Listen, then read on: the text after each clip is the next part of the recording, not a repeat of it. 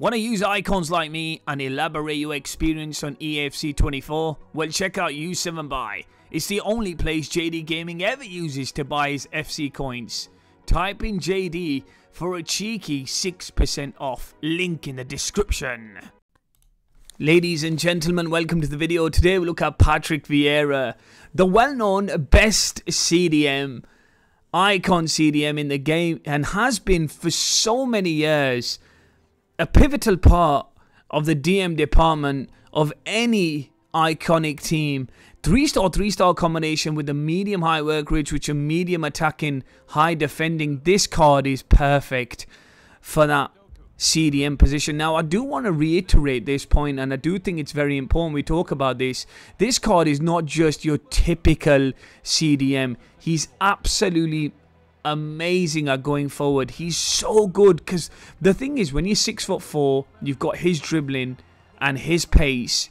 It means you can get up forward really quickly. It doesn't take him long to recover his position or to go forward and then come back. He's so quick, is incredible. And then on top of that, Vieira's always been, especially a prime Vieira, or if you get a moments Vieira or a trophy titan, I don't care, shapeshifter, whatever special edition he gets, it always has good shooting. His prime always has good shooting because I've been using prime Vieira for so long, and you can see here every time he kicks the ball, it's going way back at the back of the net. It's flying at the back of the net, top net, top bins, you know, right at the top of the net.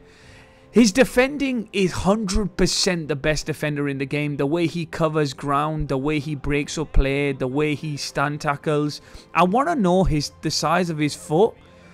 I have a feeling he's like a size 14 because he manages to get his long legs and his long feet on anybody and if that's not enough let's say for example he can't catch up to you let's say for example his long legs don't get to you then the guy just stops you with his sheer strength. He's so strong, it's uncanny.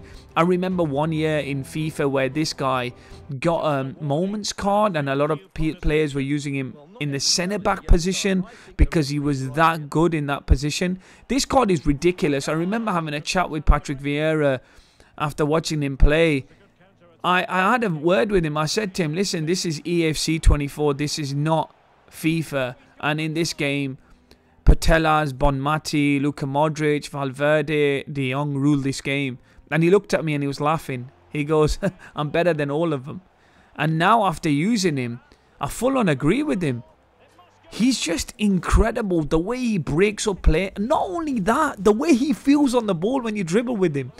He's dribbling. Alright, yeah, he doesn't have skills, but this guy can dribble for days. The way he goes up forward, the long strides of Patrick Vieira is insane.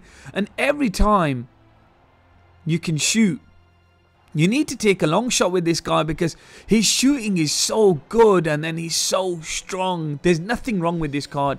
I'd say the only thing I wish this card had, I just wish this card was 4-star skills.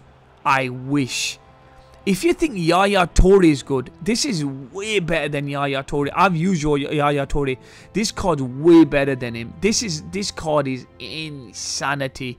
He is a full-on S tier icon. He's S tier 100%. What he does, the way he feels, just incredible. Yeah, he doesn't have four-star skills, five-star skills. Not the end of the world. Look at the way he can push him forward. Look at the way he's driving with that ball forward. Incredible. Best CDM in the game, hands down.